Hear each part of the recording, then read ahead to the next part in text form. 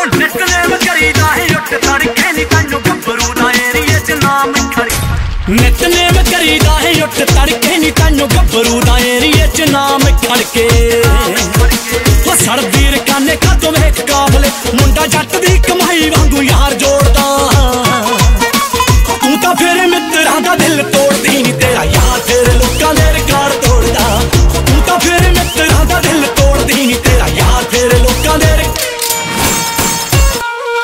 clamp करी जाए